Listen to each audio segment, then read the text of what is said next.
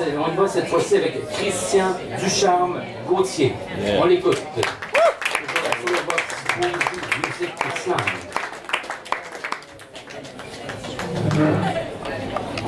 Je vais me mettre siège un peu confortable.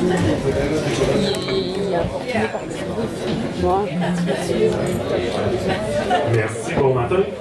Bon Bon matin. Donc, euh, je vais commencer avec un poème de Saint-Denis-Gano, bien évidemment. J'ai choisi l'automne qu'il a écrit en 1927, alors qu'il n'était âgé que de 15 ans. Euh, le texte est venu me chercher, euh, vous allez comprendre bien. Tendre nature, hier tu souriais d'amour. Le printemps embaumé t'apportait ce beau jour. Au soleil renaissait une splendide nouvelle. Les prés étaient couverts de mille fleurs si belles,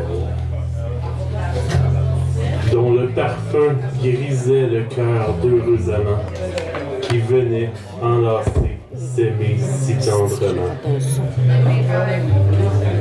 Au rythme du ruisseau qui doucement murmure, coulant entre les fleurs, heurtant les roches dures.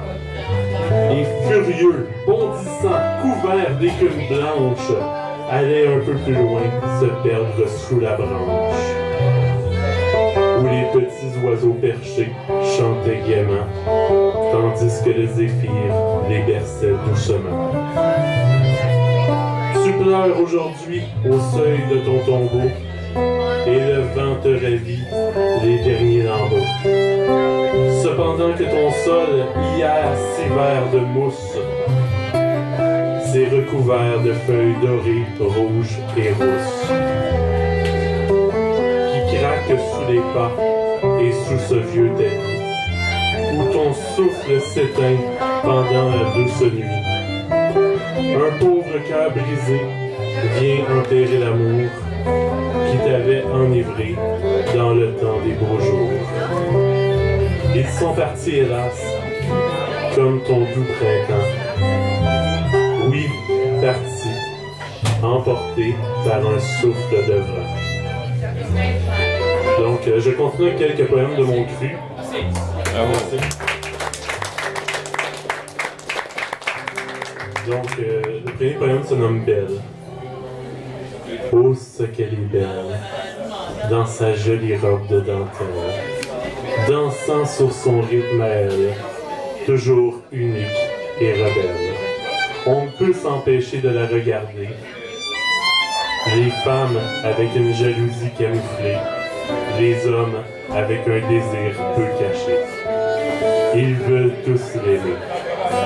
Sous ces airs de perfection se cachent bien des émotions.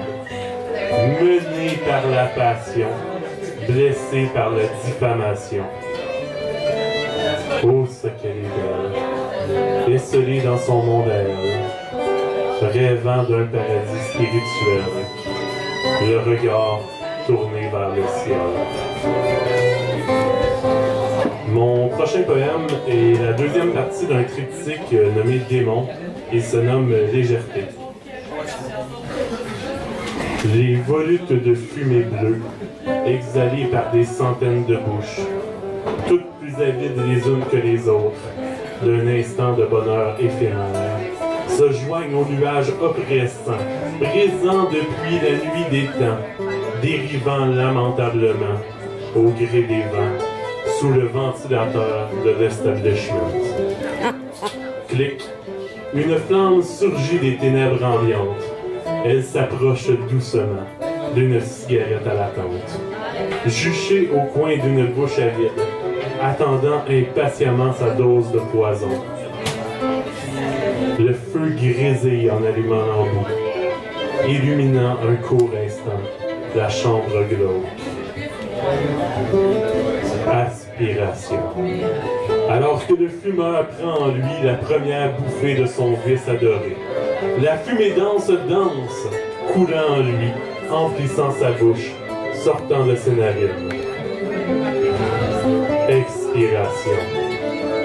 L'extrémité incandescente laisse lentement place à la cendre, s'accumulant inexorablement jusqu'à faire plier la cigarette sous son poids. Exaltation. Il mêle sa fumée au nuage, inconscient de n'être qu'un rouage, le passager perdu d'un naufrage, victime d'une société sans âge, vedette incontestable du gaspillage. Expiation. Le glas sonne. La cendre tombe sur le sol. Oui, tu es poussière et à la poussière tu retourneras. Le corps sans vie gît dans son cercueil, alors que sa cigarette s'éteint. Le dernier coup est planté. Wow. Merci.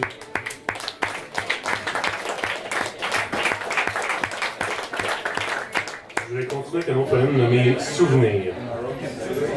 Enfant riant allègrement, du plaisir insaisissable, de la légèreté incomparable, de l'innocence à qui l'on. Quelle est belle la vie avant d'être forcé, avant d'être confronté à la vérité qui détruit. Ris enfant, toi dont la vie est si belle, mords-la comme un bon caramel, pendant qu'il est temps. Et pour seul souci, celui de ne pas savoir si la pataugeoire sera ouverte cet après-midi. Tu grandiras bien assez rapidement. Profite du moment présent.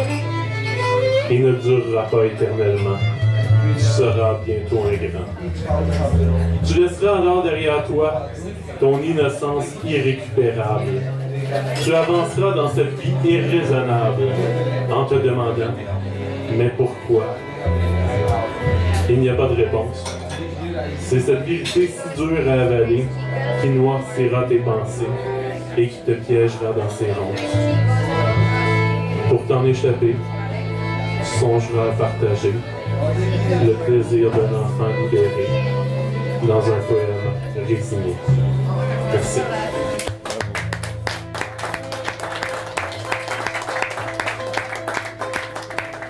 Un autre nommé Élément. Le froid qui réside dans ta voix fait frissonner mon être au grand complet et glace mes os. Le feu qui brûle dans ton regard incendie mon âme dépourvue, me laissant ensemble. Au gré de tes passions, je vole sur tes vents de changement. Je n'y suis que passager clandestin.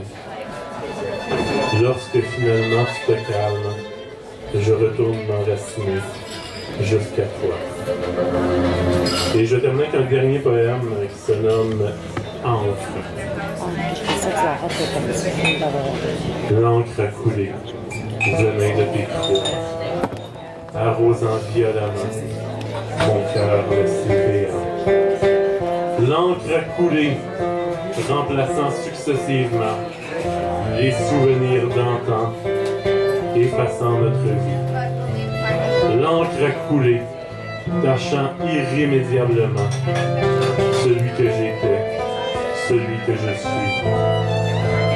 L'encre a coulé de tes yeux, tes mots, tes plumes d'ange d'ébène à la beauté meurtrière.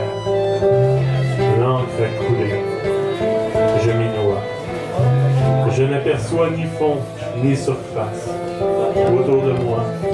Moi, tout est noir. L'encre a coulé.